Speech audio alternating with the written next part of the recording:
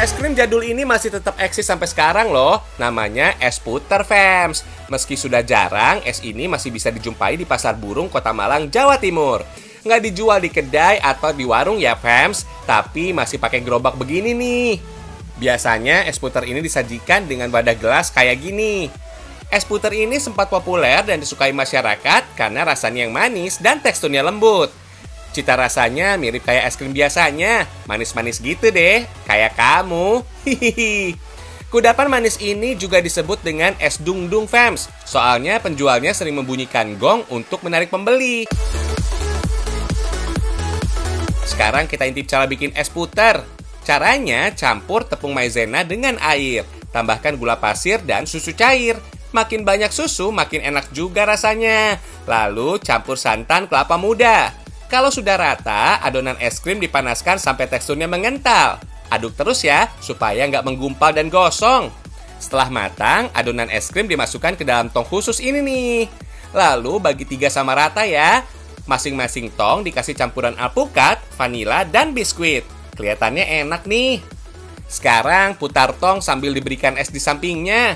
Proses inilah asal nama es putar fams. Proses pembukuan ini dilakukan secara tradisional dengan es batu dan garam. Kemudian wadah es diputar-putar sampai membeku deh.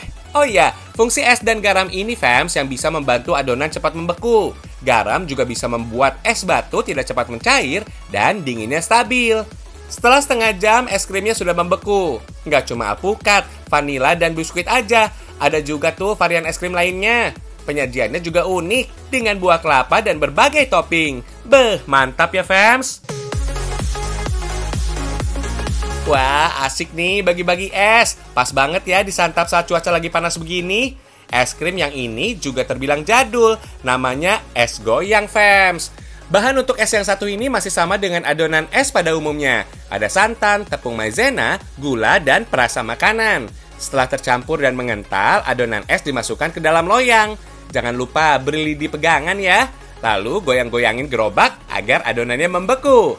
Katanya sih nama es goyang ini diberikan karena proses pembekuan adonan es dengan cara menggoyang-goyangkan gerobak kayak gini nih. Duh, ini es atau penyanyi dangdut sih? Pakai bergoyang segala. Hihihi. Oh ya, di dalam gerobak ini ternyata ada es batu yang dicampur dengan garam fams. Proses ini bisa membuat suhu turun dan adonan es mengeras. Duh, jadi keinget sama kenangan masa lalu deh. Nggak apa-apa ya, asal jangan kenangan mantan yang diingat. Hihihi.